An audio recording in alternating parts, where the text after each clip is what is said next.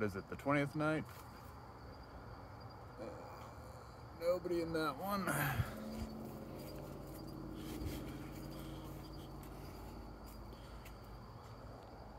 Got the girls in there.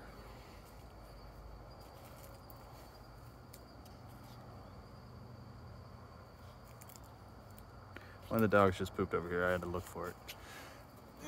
And we got the new boy in there. So we got all three. So we're good for the night.